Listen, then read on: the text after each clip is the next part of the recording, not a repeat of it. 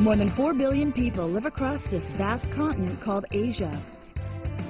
And we are telling their stories on this edition, making a difference in refugees' lives. A look at the efforts of some groups trying to make life better for Palestinian and Syrian refugees in Lebanon's Shatila camp. And stories of the voiceless. The struggles of Rohingya Muslims who fled to Bangladesh to escape persecution. We are sitting on a like time bomb kind of thing. It's ticking all the time. And if we don't keep on reacting, it could just explode any moment. I'm Natalie Carney, and this is Assignment Asia.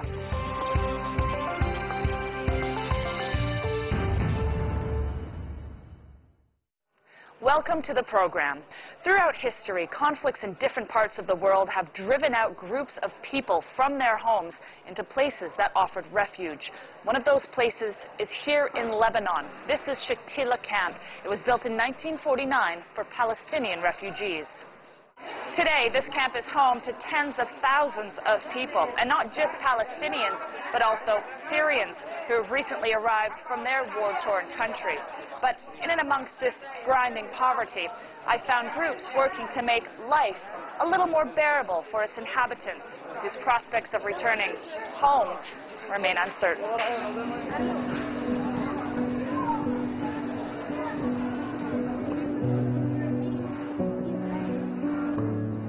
And uh, I, don't know what to say about the situation in Shatila. As you see maybe in your eyes, that it's, uh, it's misery.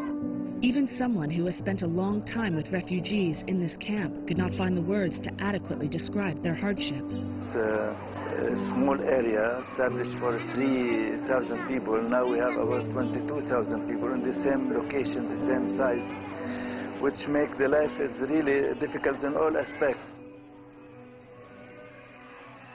Fawad Abu Khalid used to live in a camp in Syria. When the civil war there struck, he and his family sought refuge amongst their fellow Palestinians in Lebanon's Shatila camp. But what they found was a community already struggling to get by on limited resources. العائلة الجيدة هون بتاكل وجبتين هاي العائلة الجيدة جدا بتاكل وجبتين والعائلة العادية بتاكل وجبة وفي عائلات أحيانا ما بتلحق الوجبة the International Committee of the Red Cross built the camp as a temporary shelter for hundreds of thousands of Palestinians fleeing the 1948 Palestine War. Decades later, the Palestinians are still here, refugees with limited rights. They don't have the right to work. They don't have the right to own a house. There's difficulty in their being able to travel easily, to take a visa to other countries. They have extremely big problems. As of 2017, some half a million Palestinian refugees in Lebanon are registered with the United Nations Relief and Works Agency, an estimated 10% of the country's population. Unlike citizens, Palestinian refugees cannot obtain free treatment in Lebanese hospitals and are barred from most public schools. They are not living a normal, decent life. This year in May, it will be 70 years. And it's not fair that they should be living like this. Since the Palestinians first arrived in Lebanon, they have been joined by other communities fleeing conflict and poverty. Among them, 1.5 million Syrians who escaped war, as well as Kurds, Gypsies, and even impoverished Lebanese, all fighting for survival. In Shatila camp, that means more people in an already overcrowded space. For example, this place is so dark, dark. In the day dark, what the people they do? Iman Shihadi, a Palestinian, volunteers for a youth center in Shatila and has grown very familiar with the camp's problems. Look. wow.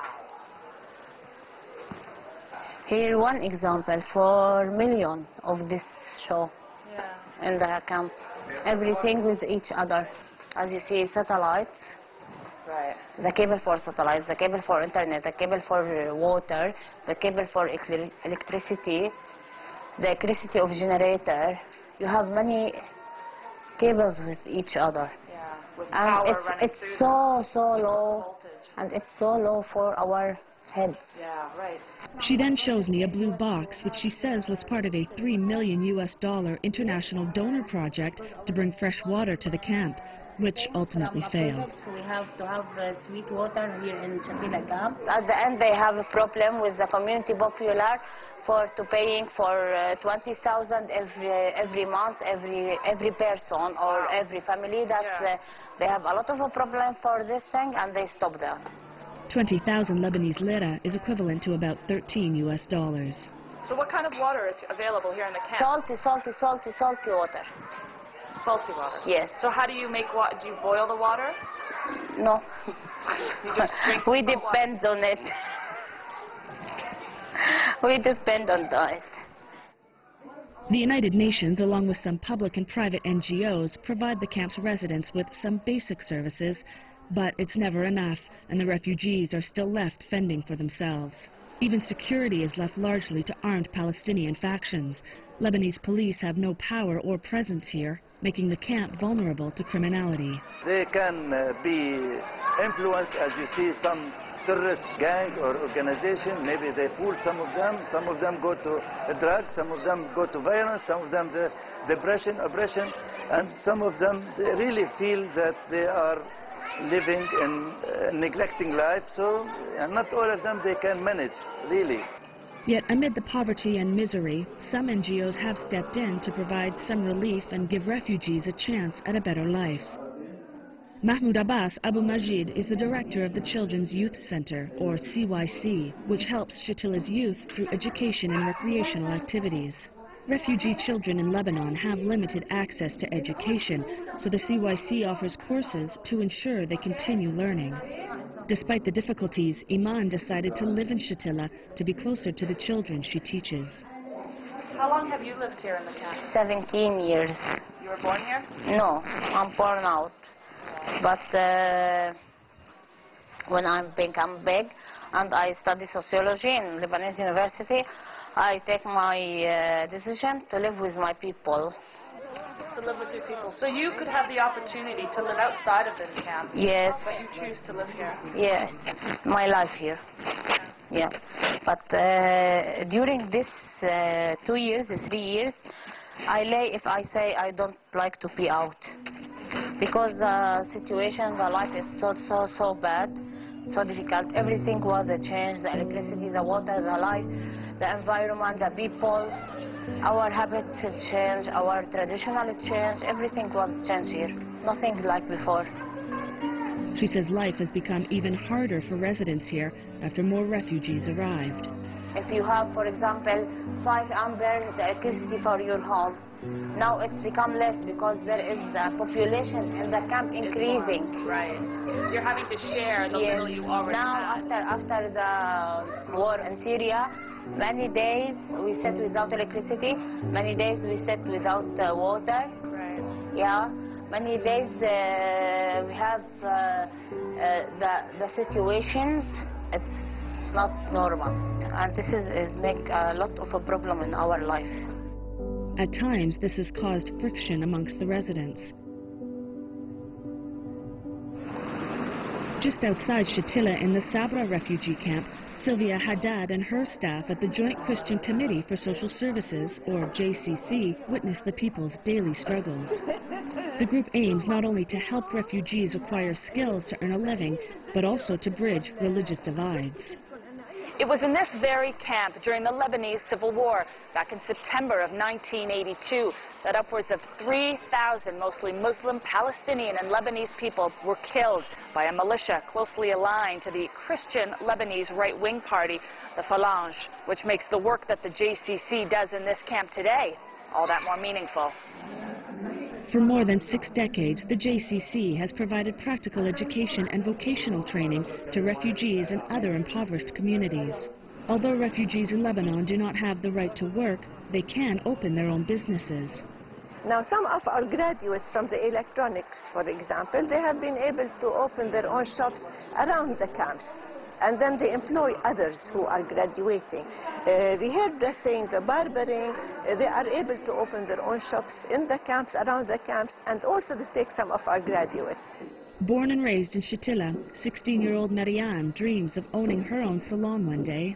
انه كفلسطينية انا بتعرفوا انه يعني بالمخيم ما في مجال انه نشتغل والفلسطينية انه ما مك مش وين ما كان بيقدروا يشتغلوا آه، حابة اشتغل اول شيء وبس إنه أتقوى كثير يعني بشغلي حابة أفتح صالون لإلي لوحدي ومنه بصير لإلي إنه في زباين وبجيب حدا بيساعدني That's exactly what Mervet Youssef did more than a decade ago.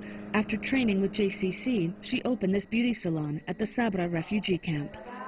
أول شيء تعلمت بالكنائس يعني أنا كان عندي الرغبة الحب للمهنة فتت على المعهد وتعلمت بالكنائس. بعدين يعني شوي شوي فتحت المحل. أول شيء فتحت ببيتي وبعدين كان المحل شوي صغير. يعني شوي شوي بصير واحد. Her salon has provided work to women as more and more Palestinian men struggle to find jobs. طبعا نحن خاصة نحن بهالايام ما في شغل ما في يعني حتى الرجال بيكونوا عمرار كثير بيكونوا عم بيشتغلوا بيكون خفيف شغلهم. يعني ما ما فيك آه، الا لما المرة ما تساعد يعني بدها بدها مهنة يعني بعدين تكون شريفة تكون محترمة تكون سيدة نفسها يعني بنفس الوقت تكون عم عم تنفع حالها وعم تنفع بيتها Another woman getting an education from JCC is Nadia Ghader, a Lebanese. The death of her mother when she was young kept Nadia from attending school, so she grew up illiterate. At JCC, she's learning to read and write from scratch. عم بقول لك إذا مثلا دق الباب وبدي مثلا شغلي يعني كيف بدي أقول لك اسمي بصمته بصم يعني إنه مش فاهمته يعني بس إنه آه إنه أمضي اسمي أوكي؟ آه بس اتضايق كثير أي شيء ورقة ما قدر إني أقراها أثر فيي يعني. في شغلات كثير بالحياة بيحتاجها الإنسان لأنه يكون على القليل يعرف يقرأ شيء بسيط. انه اذا بدي اشتغل شيء بحياتي JCC says it's providing refugees a crucial service, but the group now faces a struggle of their own, closure, after their building was bought by a development company. Sylvia says she's concerned about the camp's residents. The community really needs us because we have a nursery school, a kindergarten, we have women's programs, literacy programs. We are serving the community with so many programs. Everybody knows us. I hope we will not, but if we close, it will be a very black day. NGO workers like Mahmoud say they're frustrated with the hurdles facing refugees in Shatila and the lack of international political support to help alleviate their plight.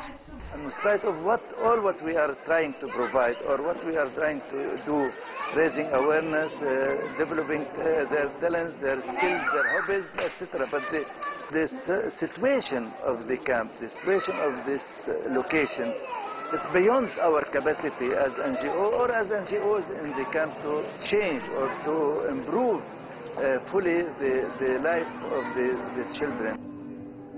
And all this does little to evoke promising times ahead. As refugees, they are not having the right to develop their communities, to develop their lives to this. Where is the human rights? Where are those who talk about peace or talk about democracy in the world?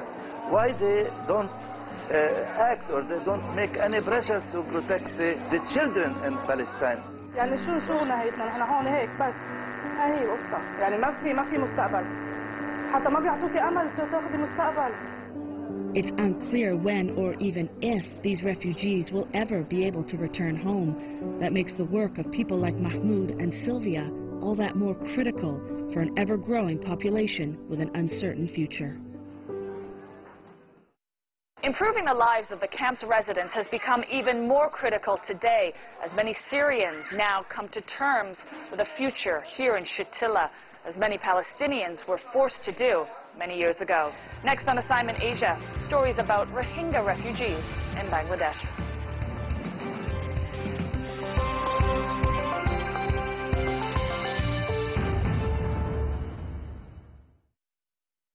The Rohingyas are a stateless people, often referred to as one of the world's most persecuted minorities. In 2017, roughly half a million of them poured into Bangladesh, escaping deadly attacks in Myanmar. At a camp in Bangladesh, Shweta Bajaj spent time with Rohingya refugees who told stories of struggle and survival amongst the toughest of odds.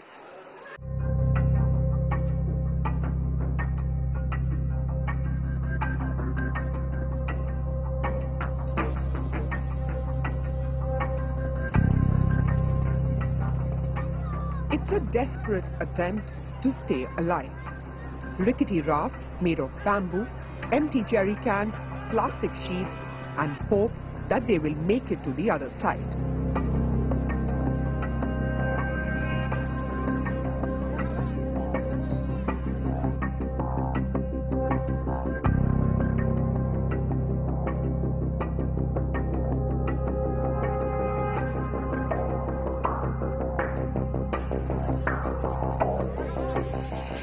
Hundreds of thousands of Rohingya refugees have made their way to Bangladesh from Myanmar on these boats. Many have died in the risky journey, while those who made it carry the scars of their ordeal.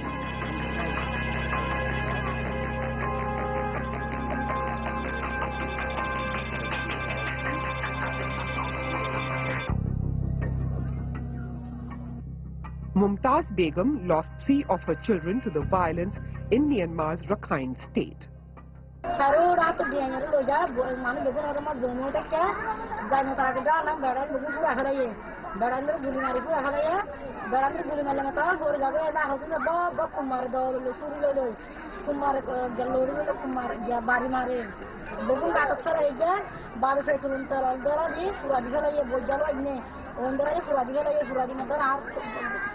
পুস্তাটা দুই বছর যে হুয়াশি হুয়া লাগে ওরে টাকতলে যে আর হালন মারা মাঝে ওদের বেড়িয়া, যে ফুয়ান বেগুন আগে যদি বেড়িয়া তো জরুর মানে সরে না গজে দেখে সে ভালো মাঝে কেছে হুয়া দিবে লাগে। মাছ বেড়া গোবর খাওয়া গুর মাছ ইয়া। বাদ বেড়ার গাত করি হুরা দিবে লাগে হুরা দিবা। দেখে যে বেড়িয়ার হাজন হাজন হাজন হাজন গরম করব লাগে। গলায় এরা ঠিয়া দেশ মদান হয়ে। বাদ যত তা হইয়া এই দূর মধ্যে লহা সরু দিয়া গুলান ডাগুরি ফেলাইয়ে Mumtaz says she and her only surviving child, this six-year-old girl, managed to escape after the military left them for dead.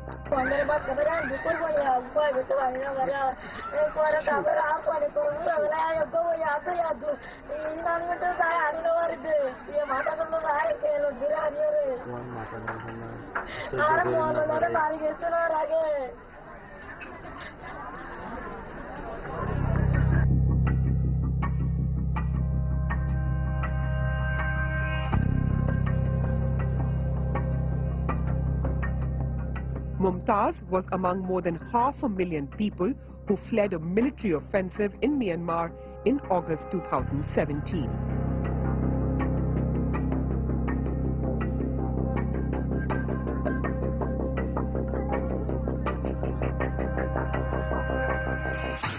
She ended up at this camp in Bangladesh, home to hundreds of thousands of Rohingyas, many of them refugees from Myanmar.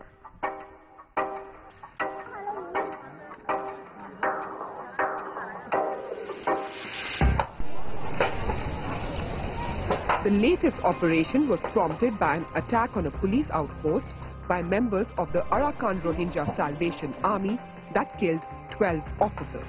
Myanmar considers the group a terrorist organization.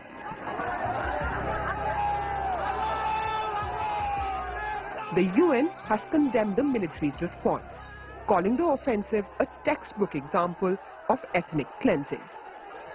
It's a charge Myanmar vehemently denies. There are many allegations and counter-allegations. It is very difficult, uh, counter-terrorism, because terrorism by its nature means that some of their members are embedded in the ordinary population and, and uh, how we distinguish the one from the other is very important. We don't want to hurt those who are innocent, but at the same time we have to make sure that terrorists are not allowed to carry on with their activities.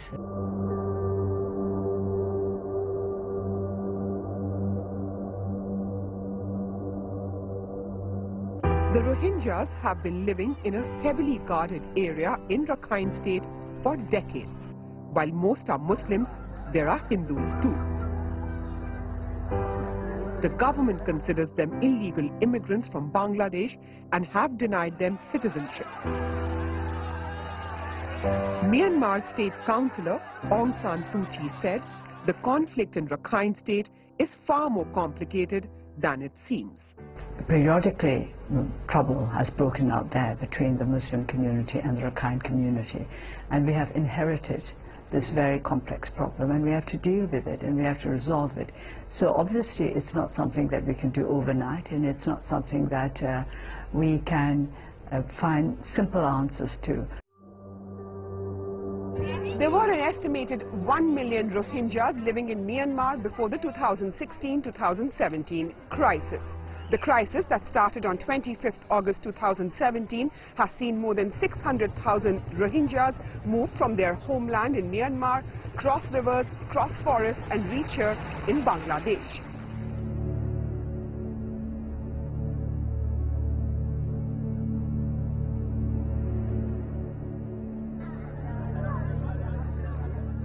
A typical scene in any of the camps.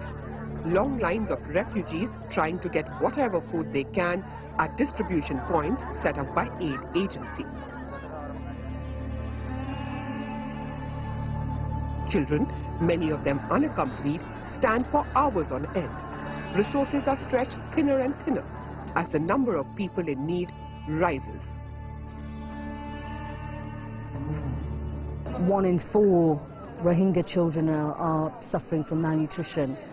And you know those th those numbers are alarming. Um, you know, and that's something that you know we really need to focus on. We really need to, you know, help make sure that we get nutritious food not only to, to children under five but also to pregnant and breastfeeding women.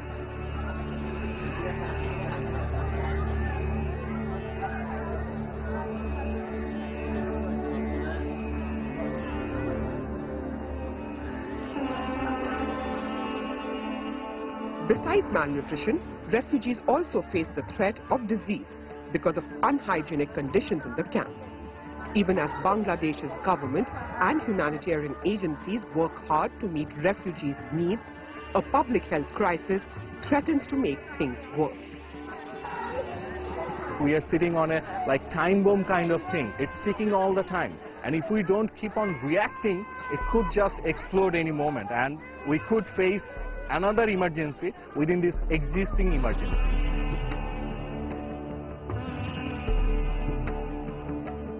The crisis has broken up Rohingya families and left many children orphaned.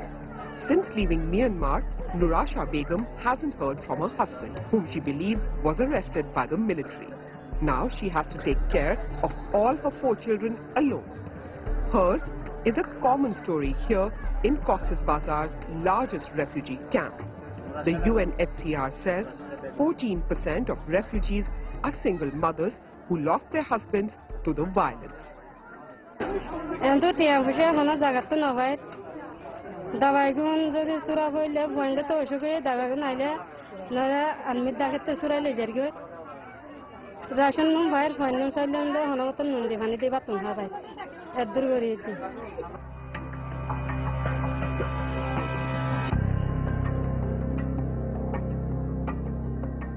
Losing family members also meant some children have to shoulder heavy responsibilities.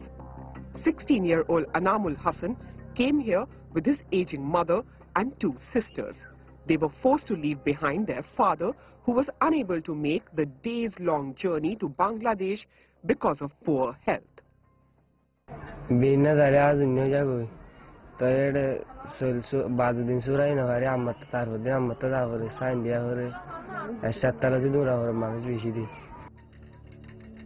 According to UNICEF, 60% of refugees here are children. They have seen more horrors than their young minds could comprehend.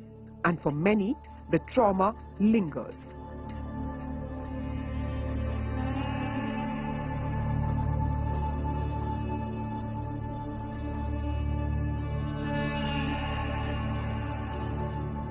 Twelve-year-old Jani Alam had been here for three months when I met him.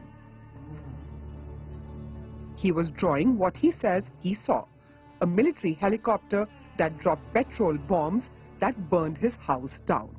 He lost his mother while fleeing Myanmar. আর আব্বা মালিশে যাওয়ার থাকলে আষ্ট বছর আগে মালিশে যাওয়ার সময় আজ গিয়ে হলে মরি গিয়ে হতে পারি আর আবার সময়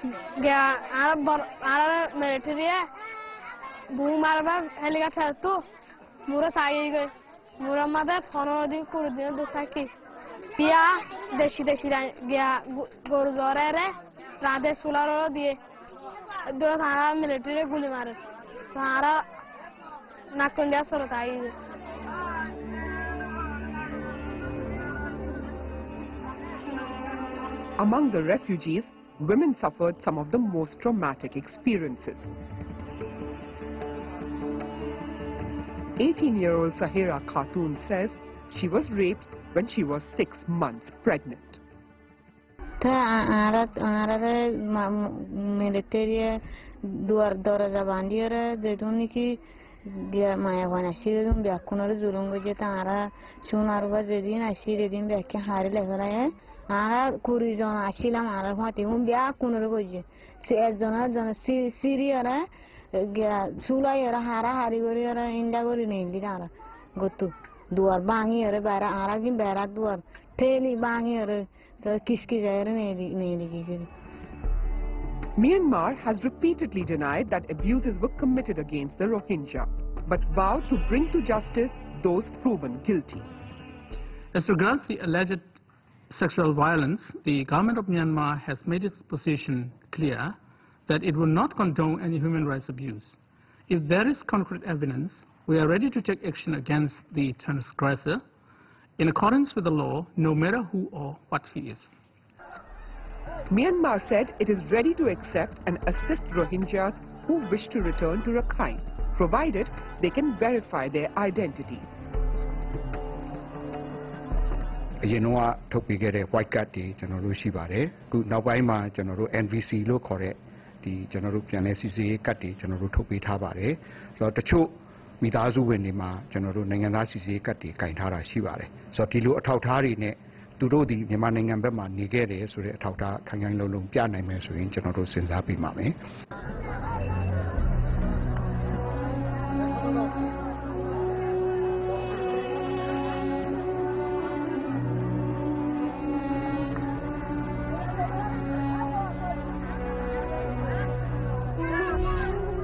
part, Rohingyas want Myanmar to guarantee their safety and recognize them as citizens. Still, despite the difficulties here, and even as uncertainty hangs over their future, some refugees say they prefer to stay.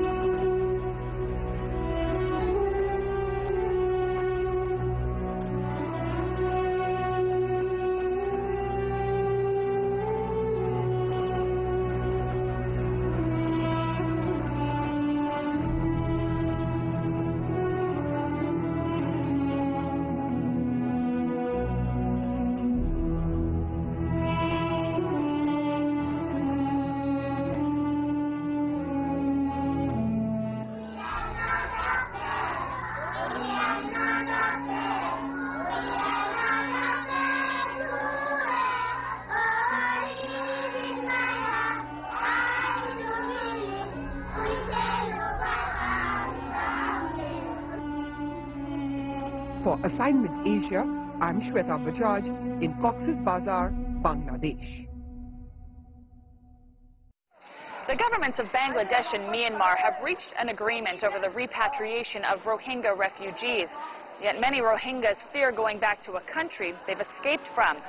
There's much concern still over their safety. That's all the time we have for this week's program from the Shatila refugee camp in Beirut, Lebanon. I'm Natalie Carney. Join us again for another episode of Assignment Asia. Share your thoughts and contribute story ideas for future shows by contacting us on social media.